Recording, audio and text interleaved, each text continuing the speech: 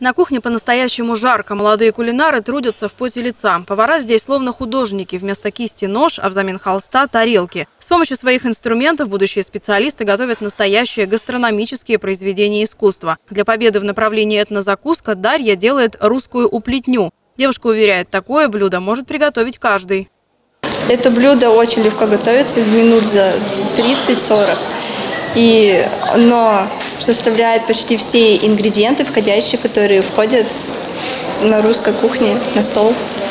Участники готовят закуски на любой вкус. На одном столе блюда России, Грузии, Франции и Италии. На их приготовление молодым поварам дается всего 40 минут. Все это время судьи внимательно следят за работой кулинаров. Особое внимание уделяют соблюдению санитарных норм. За нарушение вычитают баллы. Баллы снижали за работу без перчаток подачи, конечно, да. То есть подача блюда, если блюдо проходит тепловую обработку, оно может э, готовиться без перчаток, да, но когда подача, оформление обязательно должен повар оформлять в перчатках.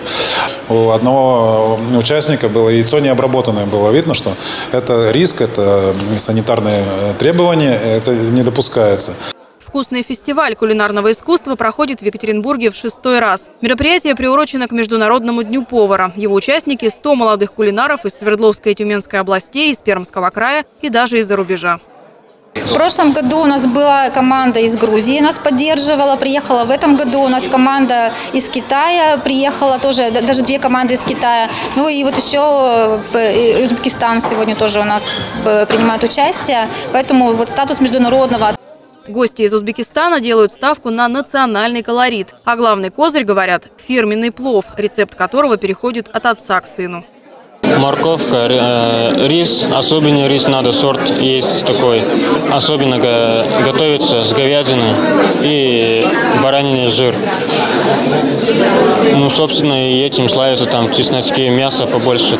Но не только национальная самобытность, но и красота блюд – дело важное. Для гостей фестиваля проводят мастер-классы по карвингу. Это художественная резка по овощам и фруктам.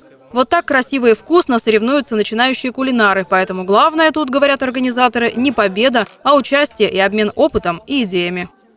Оксана Токарева, Владислав Тренько, Павел Кулыгин, Интера ТВ.